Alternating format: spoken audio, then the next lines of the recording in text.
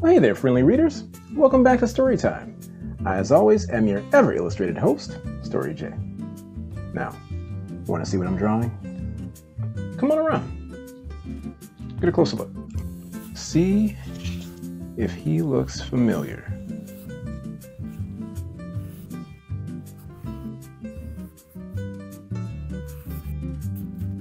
And if you can guess who it is, you get 10 Scooby Snacks. Just not from me since you're watching me on TV.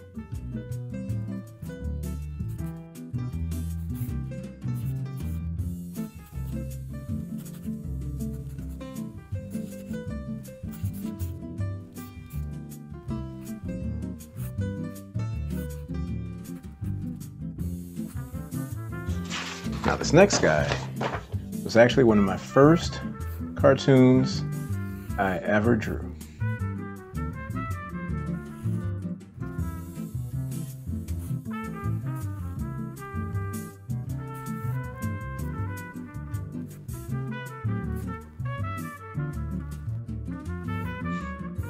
To him, I have a healthy love of spinach pizza.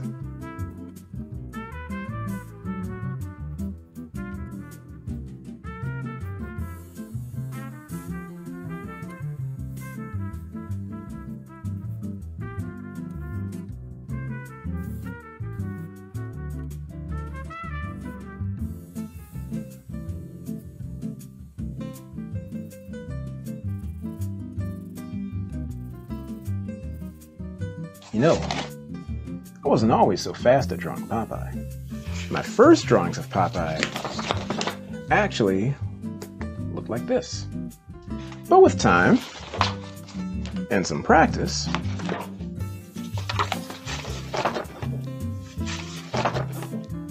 I got better. Just like you. Whether it's dancing, or cooking, or soccer, or drawing, everything takes practice. And the beautiful thing about drawing is that I can put what I'm imagining in my head right onto paper for everybody to see. It's also fun to see everybody's different style. Did you know that there's no one way to make a drawing? Everybody has their own way of doing things. So every drawing is going to look different. There's no single drawing that's ever going to look the same. Just like when you do a drawing in school. Yours may not look like the person next to you because it was made by you. Nobody does it like you because there's not another you out there. And that's what makes you unique. Now, take Bugs Bunny for instance.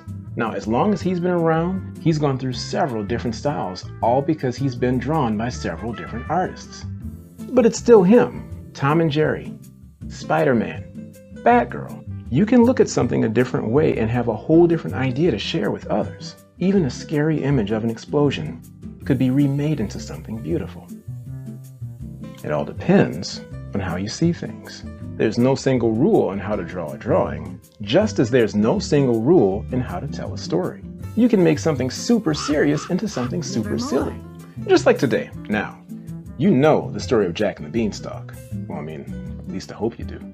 So what if I took some familiar faces from, say, a classic science fantasy series and added a tongue-in-cheek twist to a traditional tale?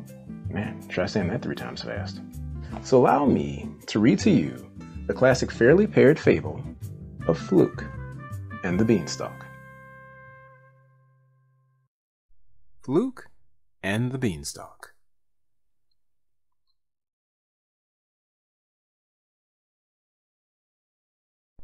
Once upon a time, not all that long ago, in a desert land known as Lower Tucson, there lived a little boy. And his name was Fluke Cloudhopper. And he had a sister. And her name was Flea. And they were both under the watchful eye of their ever wise and ever mellow grandfather, Yoga. Times being what they were, there wasn't a lot of food to go around, and even less money to pay for it. So it was only a matter of time before Grandpa Yoga called for young Fluke to say, Sell the family cow? You must. Well, in these parts, there were no cows. This family in particular had what's called a tum tum. Hmm. So, Fluke hitched the family tum tum and went to Town Town. I mean, they went to town. Well, unfortunately, being only in the second grade and more interested in adventure and excitement than financial matters, it was only within a matter of minutes before the poor boy was swindled out of the family tum tum for seven supposedly magic beans. Well, you can imagine poor Grandpa Yoga's face when Fluke came back with only seven beans staring at him. So angry was he that he threw them out of the window to be buried in the sand and sent poor Fluke up to bed without any supper. Now that night, a very strange thing happened.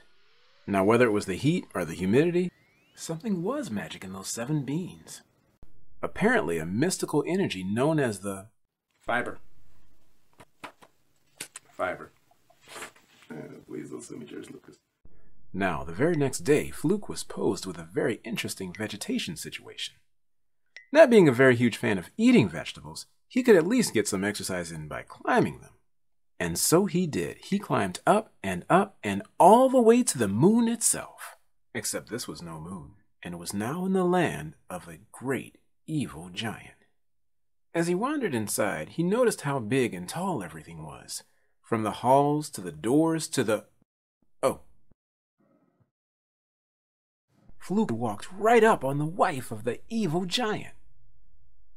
Fluke was scared silent and could only hope to beg for. Whatever. Do whatever you want. Should have stayed in Harvard. Deeper into the halls of the castle Fluke crept, until he came upon the throne room of the evil giant himself, Durf Nader. Except he wasn't all that evil and menacing, as he was, um, slumbering.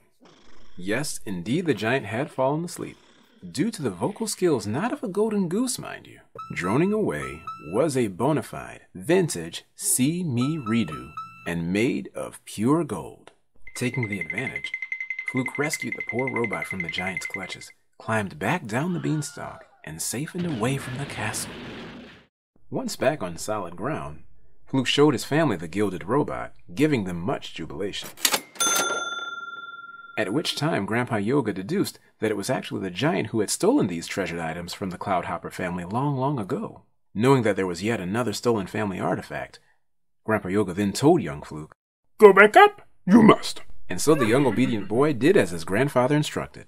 And no sooner was he deep into the halls of the castle that once again he came upon the throne room of the greedy giant, who was lucky for young Fluke, sound asleep again, all thanks to the whistled lullaby of the robot Nader held in his arms. For lo and behold, there was a rare, vintage 1978, straight from Eastland Schools Electronics, Artie Tootie. No assembly required. As the two quietly crept away as carefully as they could, they noticed the snoring had stopped.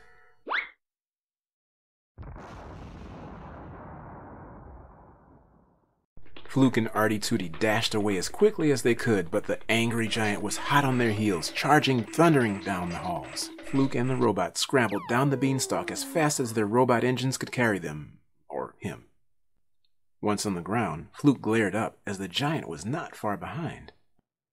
But what do you know that little Artie Tootie had one last collective? As she flipped her lid, out popped the trusty elegant weapon from a civilized age, a light. Oh, oh, good, because for a minute. Oh, oh, okay, well, I guess that works too.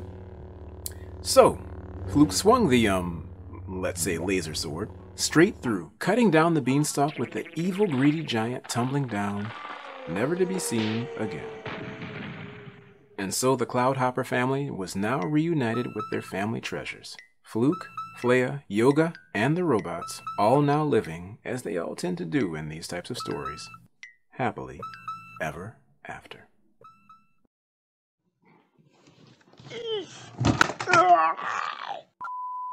When I was little, I thought all adults drank coffee, ate bran, kale, and watched the news every night. I actually found out that so many grown-ups did so many cool things, like work as cartoonists, movie makers, ballet dancers, actors, basketball players, baseball players, astronauts, and occasionally drink overpriced coffee. Not every grown-up does the typical grown-up things. Take this guy, for instance. Meet Izzy B. Hi, I'm author illustrator Izzy B. I'm going to practice reading to animals such as these. You want to read a book? Don't be so stubborn. Go against the stereotype. And he's a writer of one of the funniest new books out there. The very one I'm about to share with you today. And it's called A Tighty Whitie Wind.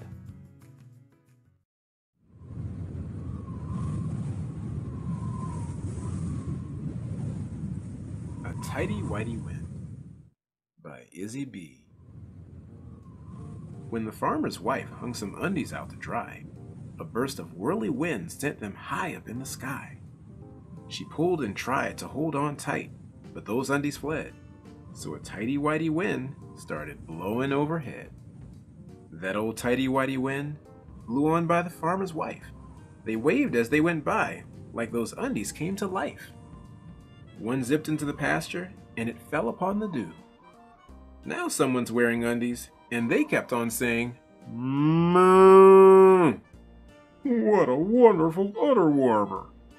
That old tidy whitey wind kept a blowing past the cow, blew the farmer's undies up, and they're even higher now. One zipped on by the stables, and it fell into the hay. Now someone's wearing undies, and they keep on saying, Nay! This is one nice feedback. That old tidy whitey wind kept a blowing past the horse, blew the farmer's undies up on a roller coaster course. Then some undies hit the roof, and the king of crowing flew. He shot high up in the sky, shouting, Look, y'all, I'm flying! That old tidy whitey wind kept a blowing past the coop, blew the farmer's undies up, and they're flying loop de loop. One landed in the meadow by the daffodils and straw. Now someone's wearing undies, and they keep on saying, Bah! The wolf won't recognize me in my new mask. That old tidy whitey wind kept a blowing past the sheep. Lots of undies went off road, and they covered Farmer's Jeep. A pair went by a Billy, and he caught it in his jaw. Now someone's eating undies, and they keep on saying, Ma! Mmm, tasty tiny whiteys. That old tidy whitey wind kept a blowing by the goat, sent the farmer's undies up, and it left him all afloat. Then the farmer came outside, and he gave the goat a glare. Hey, you silly Billy! Give me back my underwear! Well, that old tidy whitey wind seemed to settle on down. Poor old farmer's plucking undies off the animals and ground. Then something hit his hiney. Shivers shook his knobby knees. His old hiney couldn't hide from a tidy whitey breeze.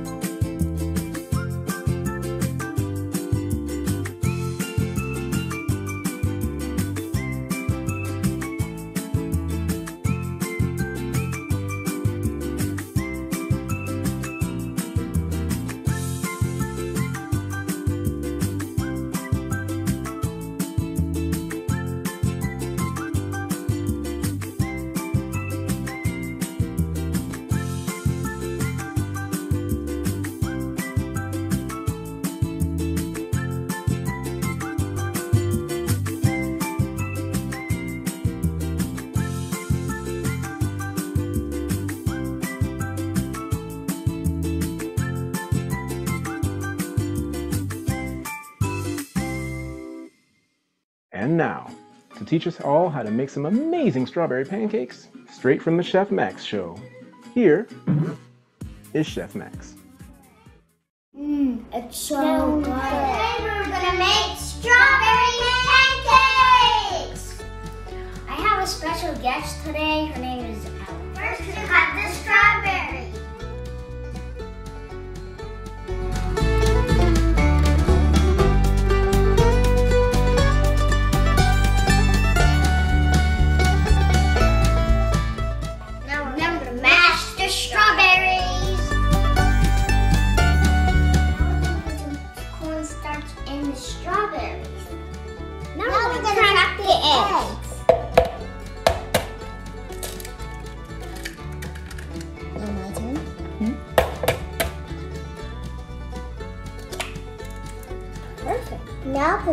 flour. And almond flour. Now add vanilla extract and baking powder. Add some sugar and flax seeds. This is optional. Now mix it.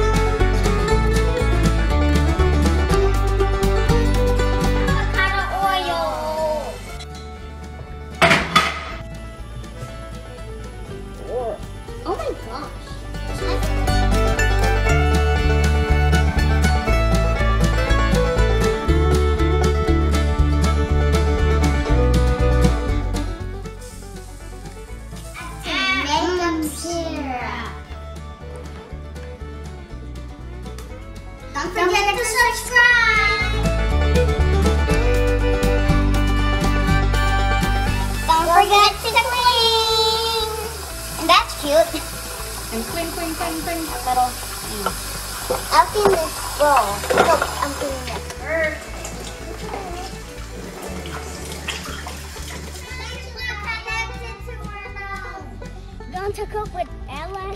Are you excited? Yes. All We right. have to do that. Yes, it's the first time. On a real. If you like Chef Max's work, be sure to check out his channel on YouTube.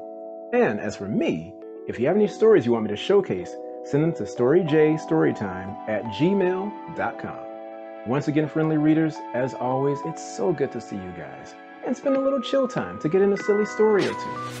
So be silly. Be out there. Be. What's this? Is this your contract? I had no lines. You need to fix this. Um, you know what, guys? You good on your bees this time around, right? I'll see y'all next time. Listen, You, You can't be walking in on me while I'm doing a show. Not while I'm you, recording. and that's what I'm doing. no, this is not okay. We talked about this.